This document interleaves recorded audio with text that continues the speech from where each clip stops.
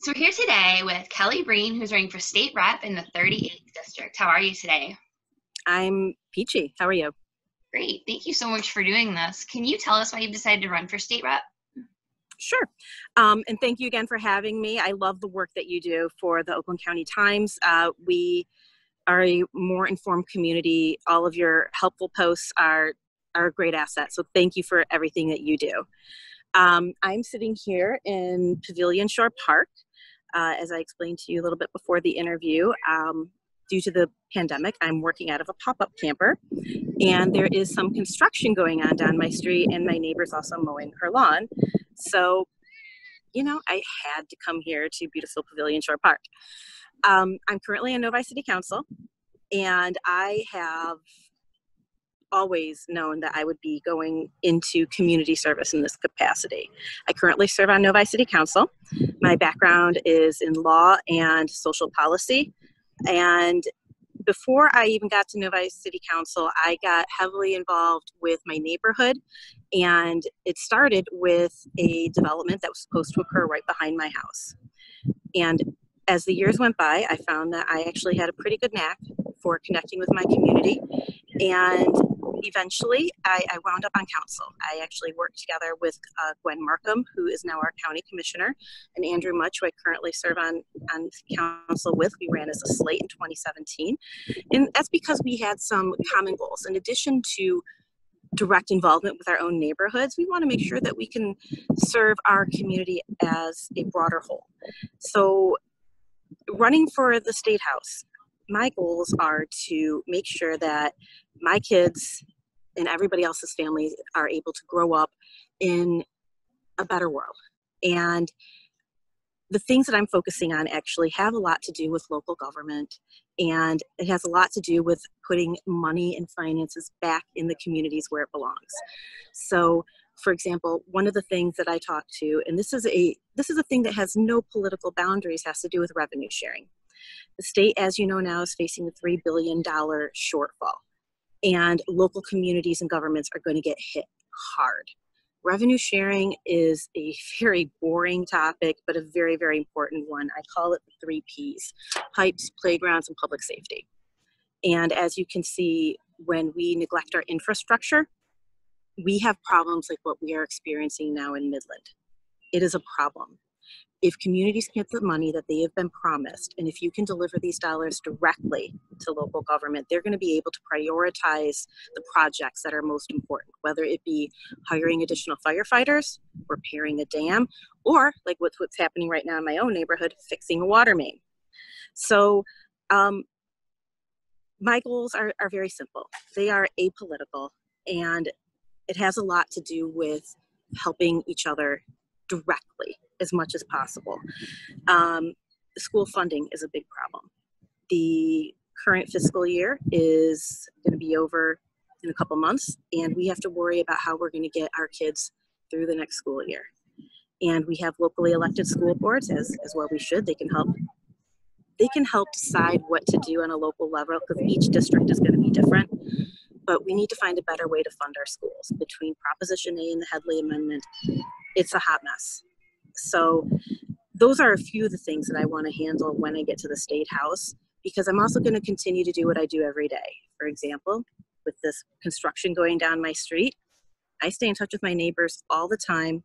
They come to me, they ask questions, whether it has to do with the city of Novi, whether it has to do with what's happening at the state level, or whether or not it has to do get it do with getting those extra federal dollars for unemployment that is that are now coming through because people are out of work and they need it. I'm there to help, and that's what I do day in and day out. Not just as part of a city council job or because of my state rep candidacy, but it's also what I do during the day. I'm an attorney by trade. People call my law firm, they need help. I give them the direction that they need. So, can you talk a little bit more about that professional experience that you bring to the table? So it's twofold. It's um, has to do with like my my personality and what I do every day, but it's also my, my background. So as I mentioned, I'm a lawyer by trade. I went to Wayne State Law School, and a good chunk of my career I spent defending large employers and insurance companies, and then frankly, I couldn't live with myself anymore. So I switched sides and I started representing injured workers. Um, in my current capacity, I'm an intake attorney, and so my job is to help the law firm sift through what cases we can work with and and what we can't. And we have a philosophy at my job, and it's to pay it forward all the time. 99% of the cases, I'm percent of the calls that we get we can't take on his cases, but it is my job to help each and every person anyway. So I give them additional resources, whether they need to call the Social Security office directly, whether or not they need to call an, another legal aid clinic. We have categories, much like what you have on the Oakland County Times, of what people might need as far as food, clothing, and shelter. And we direct them to the right place. So a lot of it is farming things out to where they can get the actual help and a lot of it is actually giving them the help that they need what you know such as uh, finding out exactly when that extra federal money is going to be hitting their bank account. So there's that and then in my capacity as novi city council i've been really really fortunate to get involved with the michigan municipal league I currently serve on a legislative policy committee for municipal services and elections. So if there are some bills in Lansing that are getting traction that are going to say impact the fire department or impact elections, and as you know, there's going to be a huge impact to elections coming up. Everybody's going to get an application for an absentee ballot. So that's going to put a heavy strain on local government. So we need to make sure that the bills that are being passed are going to ensure that local government has the ability to handle these this new way that we're going to be doing elections.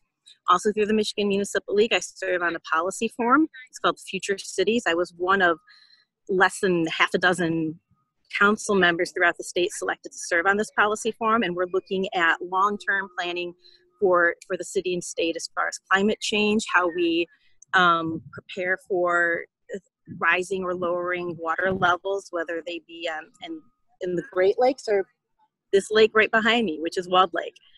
Uh, other things I do is I work, I'm on, I'm the alternate for SEMCOG.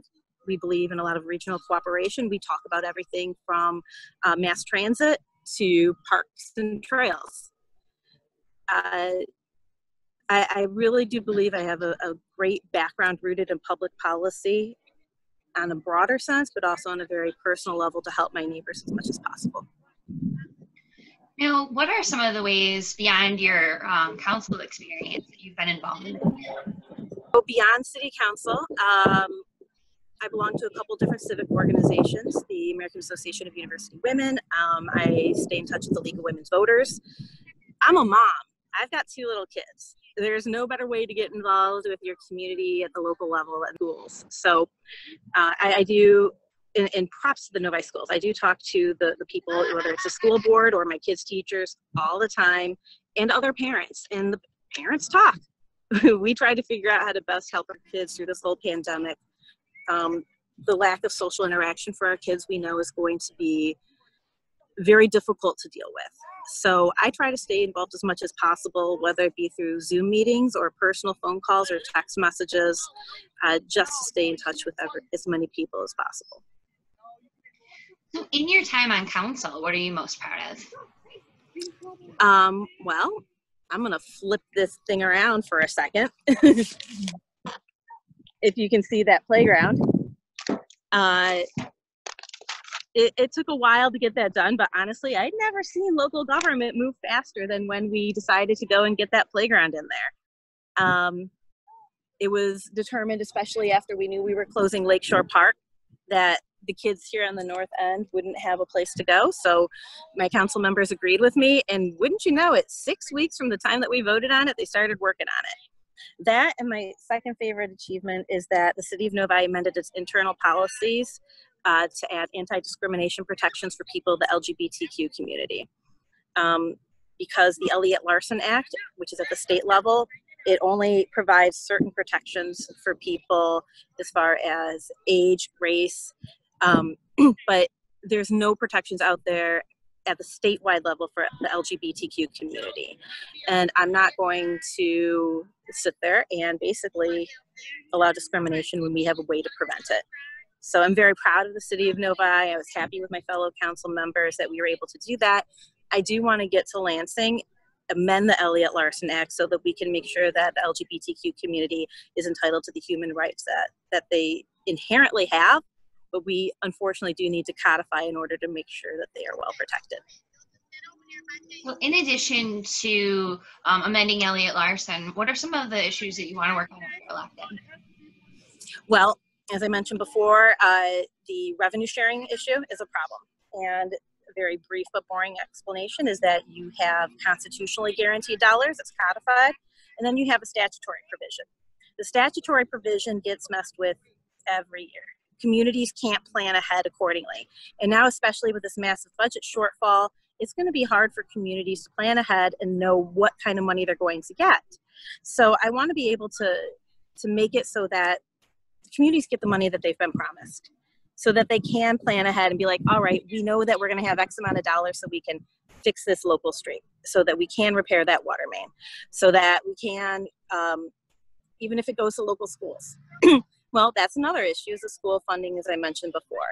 So some of my biggest issues are, are going to be making sure that schools can be more adequately funded because between Proposition A and the Headlee Amendment, property values are often quick to drop. They're very slow to come back up. And our schools get hit first. So, um, school funding, revenue sharing, uh, protecting the environment, amending Elliott Larsen. I have a whole list of things that we can tackle at the state level, and I can still be of service right here in my community. So there is some competition for the seat. Why should the voters pick? I think I'm a known quantity. In addition to that, uh, people see me out there in the community every day talking to them. I spend my weekends, if a resident calls me, well, will you please come look out at the sanitary sewer that they're building and the dewatering and how it's affecting this pond level. Um, the weekend before, I was out at another guy's property, everything from a socially acceptable distance, of course. And he, he's got some issues with trying to um, build something on a particular piece of property and needed to know more about the zoning ordinances and, and things like that. I have the knowledge, I have the dedication, I have the legal background, I have the policy background. And as an attorney, I mean, I love the law. I absolutely love the law. I don't want to practice it right now because there are so many things about it that are broken and I want to go and fix it. So, if voters want more information about you and your campaign, where can they go? They can go to kellybreen.com, K E L L Y B R E E N.com. Um, you can find me on Facebook. I do have a city council page, I have a state rep page. I'm on Instagram and I'm on Twitter. Um, the handle is Vote Kelly Breen. Great. Well, thank you so much for doing this interview today. Well, thank you so much for having me, Crystal. And again, thank you for all you all you do, keeping everyone informed in Oakland County. Appreciate it.